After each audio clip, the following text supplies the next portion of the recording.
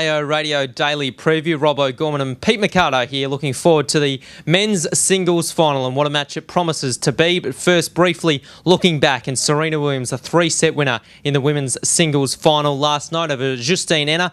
Pete, it was a great match. It certainly was, and it lived up to all the build up that we had, Rob. And a fantastic win by Serena. She was pushed, particularly in that second set where we saw the Justine Henin of old.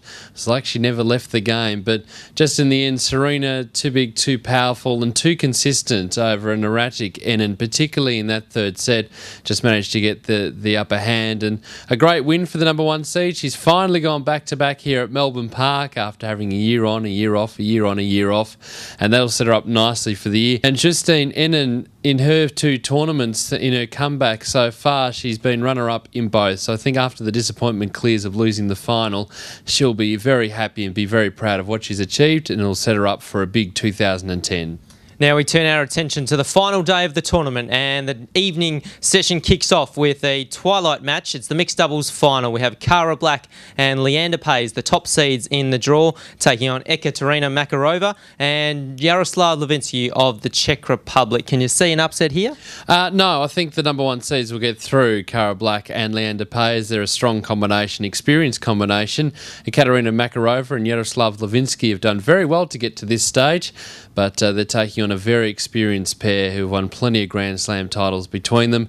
And Cara Black has already played on Rod Laver Arena in the doubles final where they went down, uh, Black and Huber to the Williams sisters.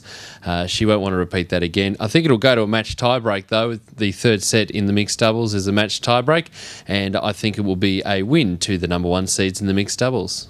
And we finish off the tournament with a fantastic matchup. Roger Federer, the world number one, the runner-up last year here at Melbourne Park, taking on Andy Murray. The second time they've met in a Grand Slam final. Will it be the same result?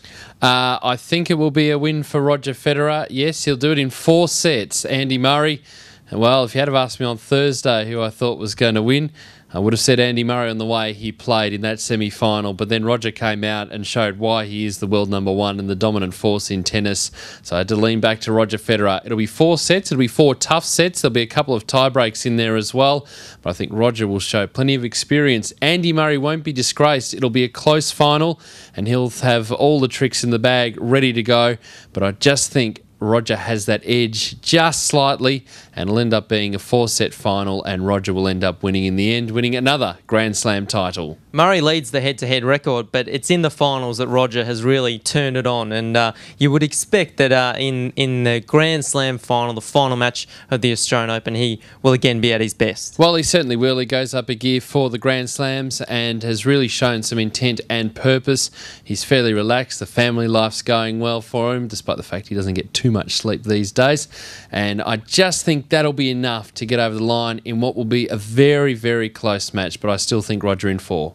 The coverage of that match begins at 7.30pm Melbourne time. Don't miss a minute. AustralianOpen.com, 99.7 FM, and on the official Australian Open iPhone app, you can hear live coverage on AO Radio. Pete Marcato, great tipping during the tournament. Well done. Thank you very much. I think I've got some of them right anyway over the course of the two weeks, but it's been great to be here. Great to have you along and watching our AO Radio daily preview and tune in for the final match of the tournament, Federer versus Murray.